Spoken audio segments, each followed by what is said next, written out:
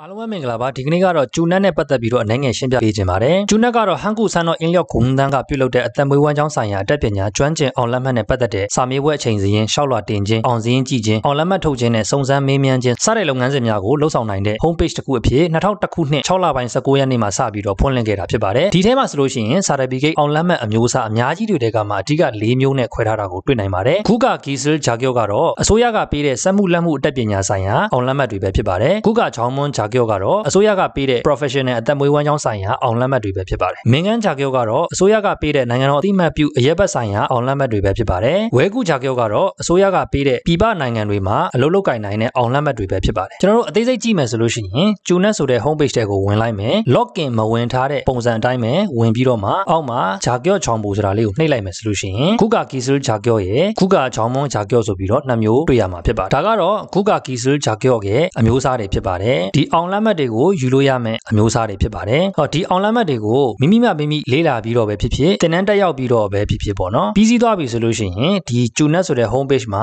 ဝင်ပြီးတော့ရေးဖြည့်လက်တွေ့ဖြည့်ဖို့အတွက်ဖောင်တင်ပြီးတော့မှစာမွဲတွေဖြည့်မယ်။စာမွဲတွေအောင်မြင်သွားပြီးတဲ့အခါမှာရရှိလာမယ့် certificate အောင်လက်မှတ်ဂျာကျောတွေပဲဖြစ်ပါတယ်။ဟောအမျိုးအစားတွေကတော့တွေ့တဲ့အတိုင်းပဲအများကြီးရှိတဲ့အတွက်ကြောင့်ကျွန်တော်ကတော့အသေးချာရှင်းပြဖို့မလွယ်ဘူးပေါ့နော်။ဒီထဲမှာမှခွန်းစော့လို့ခေါ်တဲ့ဆော့လို့ရင်းနဲ့ပတ်သက်ပြီးတော့တစ်ချက်နှိပ်ကြည့်လိုက်မယ်ဆိုလို့ရှိရင်အမျိုးအစားတွေအများကြီးထပ်ပြီးတော့ကြာလာတယ်ပေါ့နော်။ဒီထဲမှာမှခွန်းချုအဆောက်အဦနဲ့ပတ်သက်ပြီးတော့ရှာကြည့်လိုက်မယ်ဆိုလို့ရှိရင်လည်းပဲဂီနုံးစာဂီဆူးစာဂီနုံးချမ်းစသဖြင့်ပေါ့နော်ဒီဆိုင်ရာဆိုင်ရာအမျိုးအစားတွေအများကြီးရဲ့ကြာလာတယ်ပေါ့နော်ဒါလေးရဲ့အတက်ပညာတွေ certificate တွေဖြစ်ပါတယ်နောက်တစ်ခုကတော့ကျွန်တော်တို့ဂွန်စောဂီကေအွန်ချောင်းလို့ခေါ်တဲ့ဆောက်လုပ်ရေးသုံးဆက်ရန်တရားမောင်းနှင်မှုအတက်ပညာပေါ့နော်ဒီတဲ့ကိုနှိပ်ကြည့်လိုက်မယ်ဆိုလို့ရှိရင်လည်းပဲအများကြီးပဲထပ်ပြီးတော့ကြာလာတယ်ပေါ့နော်ဂူးချက်ဂီဆိုလို့ရှိရင်ဒါမြေဖော်တဲ့ကားတွေပေါ့နော်ပြီးတဲ့အခါမှာကျွန်တော်တို့မြန်မာလူမျိုးတွေအများဆုံးဝင်ပြီးတော့ဖြေကြတဲ့ကြီးကေချာအွန်ချောင်းဂီနုံးစာလည်းရှိတယ်ပေါ့နော်ဒါကတော့ရိုးရိုးတာမန်စက်မှုလက်မှုအတက်ပညာတွေဖြစ်တယ်ပေါ့နော်ခုကဂျောင်းမွန်ဂျာကျောကတော့ဂျောင်းမွန်လို့ခေါ်တဲ့ professional ဆိုတဲ့အတိုင်းပဲ professional ကြတဲ့လက်မှတ်အမျိုးအစားတွေပဲဖြစ်ပါတယ်ဥပမာဒီမှာဆိုလို့ရှိရင်တော့ဘိုးကန်းပုတ်ကြီးဘူးဆိုပြီးတော့ရှိတယ်ပေါ့နော်ကျမ်းမာရေးနဲ့လူမှုဖူလုံရေးဝန်ကြီးဌာနပြီးတဲ့အခါမှာဟွမ်းကြောင်းဘူးလို့ခေါ်တဲ့ပတ်ဝန်းကျင်ထိန်းသိမ်းရေးဝန်ကြီးဌာနပြီးတဲ့အခါမှာကိုယုံနှုတ်တုံးဘူးလို့ခေါ်တဲ့အလုပ်သမားဝန်ကြီးဌာနပြီးတော့ဟဲယန်းစု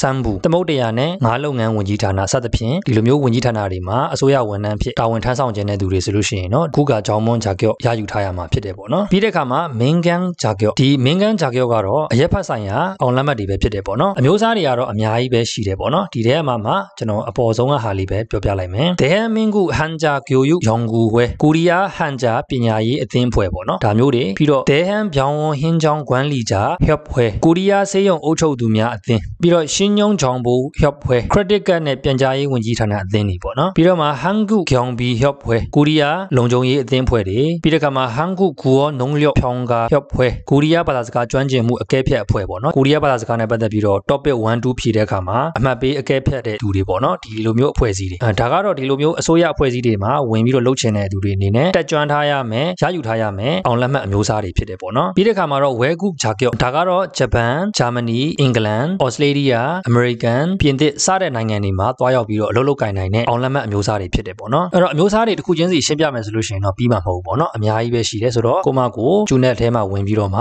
လေ့လာလို့ရပါတယ်အဲ့တော့ခုကဂီဆူဂျာကျော့စာမေးပွဲကိုနှစ်မျိုးခွဲထားတယ်ပေါ့နော်ဂျွန်ဂီရှီဟွမ်လို့ခေါ်တဲ့ဒီတစ်နှစ်မှာ3-4ချိန်ပြုလုပ်တဲ့စာမေးပွဲရှိမယ်ဆန်းရှီရှီဟွမ်လို့ခေါ်တဲ့တစ်လမှာ3-4ချိန်ပြုလုပ်တဲ့စာမေးပွဲရှိတယ်ပေါ့နော်ဒါပုံမှန်စာမေးပွဲဖြစ်ပါတယ်ကျွန်တော်တို့ဂျီကေချာတို့ဂူဆက်ဂီတို့များသောအားဖြင့်ဖြေကြတယ်ပေါ့နော်ဒါဆိုလို့ရှိရင်တော့ဆန်းရှီရှီဟွမ်ကိုဝင်ဖြေတာပို့ပြီးတော့ကောင်းတယ်စာမေးပွဲကျသွားတယ်ဆိုလို့ရှိရင်လည်းပဲတစ်လမှာ3-4ချိန်ပြုလုပ်တဲ့စာမေးပွဲဖြစ်တဲ့ကြောင့်ခက်လွယ်လွယ်ပဲဖောင်ထပ်တင်ပြီးတော့မှထပ်ဖြေဖို့အတွက်အဆင်ပြေစေတယ်ပေါ့နော်အဲ့တော့ဆန်းရှီရှီဟွမ်အမျိုးအစားထဲမှာဆိုလို့ရှိရင်တော့14မျိုးရှိပါတယ်ဂျိုဒီဂီနုံးစာလို့ခေါ်တဲ့စပုံမှုအတတ်ပညာပေါ့ဟင်းချက်တက်ပညာဒီထဲမှာဆိုလို့ရှိရင်တော့ဟန်ရှစ်ကိုရီးယားစားစာယန်ရှစ်အနောက်တိုင်းစားစာအီးရှစ်ဂျပန်စားစာဂျွန်ကူတရုတ်စားစာဆိုပြီးတော့ခွဲထားမယ်ပြီးတဲ့အခါမှာဂျဲကွာဂီနုံးစာကိမုံနဲ့မုတ်မျိုးစုံပြုလုပ်တဲ့အတတ်ပညာဖြစ်မယ်ပြီးတော့ဂျဲပန်ဂီနုံးစာလို့ခေါ်တဲ့ပါမုံနဲ့ပတ်သက်တဲ့အရာတွေပြုလုပ်တဲ့ဂီနုံးစာဖြစ်မယ်ပေါ့နော်ပြီးတဲ့အခါမှာမီယုံစာလို့ခေါ်တဲ့အလှပြုပြင်ခြင်းဆိုင်ရာအတတ်ပညာဒီထဲမှာဆိုလို့ရှိရင်တော့အီလ်ဘန်ပုံမှန်ရိုးရိုးပေါ့နော်ပြီးတဲ့အခါမှာဖီဘူးအရေးပြနေလို့ခေါ်တဲ့လက်သေးခြေသေးတွေကိုပြုပြင်ထိန်းသိမ်းတဲ့အတတ်ပညာပြီးတဲ့အခါမှာမိတ်ကပ်အတတ်ပညာတွေပါဝင်မယ်ပေါ့နော်ပြီးတဲ့အခါမှာအရင်တော့ကတော့ဂူးဆက်ဂီလို့ခေါ်တဲ့အရာပဲအခုတော့နာမည်ပြောင်းလာတာပေါ့နော်ဂူးချက်ဂီအွန်ချောင်းဂီနှုံးစာဖြစ်ပါတယ်ဒီလိုမျိုးမြေတူးတဲ့ကာမြေဖော်တဲ့ကာတွေပေါ့နော်ပြီးတဲ့အခါမှာတော့ကျွန်တော်မြန်မာလူမျိုးတော်တော်များဖြီကြတဲ့ဂျီကေချာအွန်ချောင်းဂီနှုံးစာ forklift ကာတွေဖြစ်ပါတယ်ပြီးတဲ့အခါမှာတော့ဂွန်ချူဒိုချန်ဂီနှုံးစာလို့ခေါ်တဲ့ဒီအဆောက်အဦတွေကိုဆေးတုပ်တာဆေးမှုတ်တာတွေပေါ့နော်ပြီးတဲ့အခါမှာဆေးအယောင်ဆက်တာတွေပကြီးဆွဲတာတွေပေါ့နော်ပြီးပိတုကဆိုင်ရာအတတ်ပညာဖြစ်ပါတယ်ပြီးတဲ့အခါမှာဘန်ဆူဂီနုံးစာလို့ခေါ်တဲ့ဒီလိုမျိုးအဆောက်အဦတွေထဲမှာရေမဝင်အောင်လို့ရေမစိမ့်အောင်လို့လှုပ်ဆောင်ရတဲ့အတတ်ပညာတစ်ခုပေါ့နော်ဂျွန်ဂီရှင်အမျိုးအစားကတော့ခွန်ချုဒိုဂျန်ဂီနုံးစာနဲ့ဘန်ဆူဂီနုံးစာမပါဝင်မဲ့အပေါ်က12မျိုးဖြစ်ပါတယ်အဲ့တော့ကျွန်တော်တို့ကျူနက်ထဲကိုဝင်ပြီးတော့မှဒီဂျွန်းချဲမီနူးဆိုတဲ့ဟာလေးကိုကျွန်တော်နှိပ်လိုက်မယ်ပြီးတဲ့အခါမှာဒီ Volgan Sium Iljong ဆိုတဲ့ဟာလေးကိုကျွန်တော်နှိပ်လိုက်မယ်ဆိုလို့ရှိရင်ဒီမှာ Guga Gi ဆိုတဲ့ဂျာကျော့ဂျွန်ဂီဆိုတဲ့စာမေးပွဲရှိမယ်ဆန်းရှီဆိုတဲ့စာမေးပွဲရှိမယ်ပေါ့နော်ဂျွန်ဂီဆိုတာကတစ်နှစ်မှာ3-4ချိန်ပဲပြုတ်လုပ်တာပေါ့နော်ဒီထဲမှာကြည့်မယ်ဆိုလို့ရှိရင်တော့အမျိုးအစား12မျိုးပဲကျွန်တော်တို့ဖြည့်လို့ရတာကိုတွေ့မယ်ပေါ့နော်မှာဂျိုဒီစာရှိမယ်ပြီးတဲ့အခါမှာဂျီခဲချာဂူဆက်ဂီရှိမယ်ပြီးရင်မီယုံရှိမယ်ဂျဲကွာဂျေပန်ရှိမယ်ပေါ့12မျိုးပေါ့နော်ဆန်းရှီရှင်ဝန်းမှာဆိုလို့ရှိရင်တော့အားလုံးပေါင်း14မျိုးဖြစ်ပါတယ်ခုနပြောတဲ့ဂူဆက်ဂီဂျီခဲချာဂျဲကွာဂျေပန်ပြီးလို့ရှိရင်ယိုဒီစာပြီးတဲ့အခါမှာမီယုံစာပြီးတဲ့အခါမှာ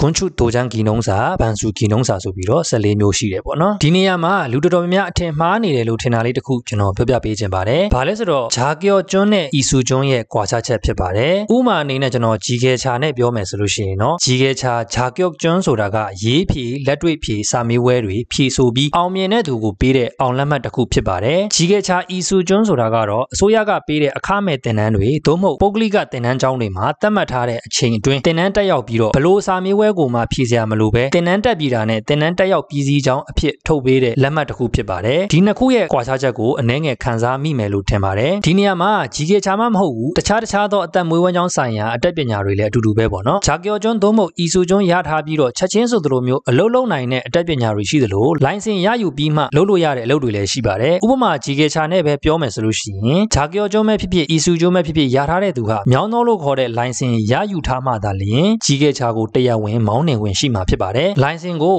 ချာလျန်ဒုံလို့စာအုပ်ဆိုရှီချောင်းကူချောင်းဟန်ကူဆန်တော့ပြင်းလျော့ဂုံတန်စားတဲ့နေရာတွေမှာမိမိရထားတဲ့ဂျာကီယောကျွန်းအီဆူကျွန်းတွေနဲ့ပြပြီးတော့လိုင်စင်ထုတ်ယူရမှာဖြစ်ပါတယ်။ဂျာကီယောကျွန်းနဲ့ထုတ်တဲ့လိုင်စင်ကတော့တန်အရေအတွက်ကန့်သက်ချက်မရှိဘဲနဲ့အားလုံးသောကြီးကေချာတွေကိုမောင်းနိုင်မှာဖြစ်ပါတယ်။အီဆူကျွန်းနဲ့ထုတ်တဲ့လိုင်စင်ကတော့သုံးတန်အောက်ကြီးကေချာတွေကိုပဲမောင်းနိုင်မှာဖြစ်ပါတယ်။အီလီကျွန်းဂီယာရင်မောင်းလိုင်စင်ရှိတဲ့သူတွေဆိုလို့ရှိရင်ကြီးကေချာလိုင်စင်ရယူတဲ့အခါမှာမျက်စိနားဆေးစစ်စရာမလိုတဲ့သဘောဖြစ်ပါတယ်။သုံးတန်အောက်ကြီးကေချာကိုတက်မောင်းလို့ရတယ်ဆိုတဲ့အဓိပ္ပာယ်မဟုတ်ပါဘူး။ဘာလက်မှတ်ဘာလိုင်စင်မှမရှိပေမဲ့ကြီးကေချာလိုင်စင်ရယူခြင်းတဲ့သူတွေကတော့ဆိုဟျောင်းခွန်ဆောလ်ဂီကေဂျိုဂျုံစာဂျိုယူဂီဝမ်ဂျုံဂျန်ဘီဟာကွန်စတဲ့နေရာတွေမှာ12နာရီတင်နန်းတက်ပြီးတော့အီဆူကျွန်းထုတ်ယူရမှာဖြစ်ပါတယ်။သို့မဟုတ်အီလေးကျုံဂီယာရင်မောင်းလိုင်စင်နဲ့ဂျီကေချာမောင်းနှင်းမှုအတွေ့အကြုံ3လထက်ရှိတဲ့သူဆိုလို့ရှိရင်တော့အန်းချောင်းဘူကုန်းဂုံတန်းမှာပြုလုပ်တဲ့ online တင်နန်း2နာရီတက်ရောက်ပြီးအီဆူကျွန်းထုတ်ယူထားရမှာဖြစ်ပါတယ်။ဒီအီဆူကျွန်းပြပြီးတော့ဂျီကေချာလိုင်စင်လျှောက်ထားရမှာဖြစ်ပါတယ်။အီဆူကျွန်းဖြစ်တဲ့အတွက်လိုင်စင်ထွက်လာရင်တော့3တန်အောက်ဂျီကေချာတွေပဲမောင်းနိုင်မှာဖြစ်ပါတယ်။နောက်တစ်ခုကတော့ထပ်ပြီးတော့ပြင်ဆင်လိုက်တဲ့ဥပဒေနဲ့ပတ်သက်ပြီးတော့ဒါဗဟုသုတပေါ့နော်။ရင်မောင်းလိုင်စင်မရှိဘဲနဲ့ရင်မောင်းထိုင်ကုန်မှာထိုင်ခွင့်တော့ရှိတယ်ဒါပေမဲ့ဆက်နှိုးလို့မရ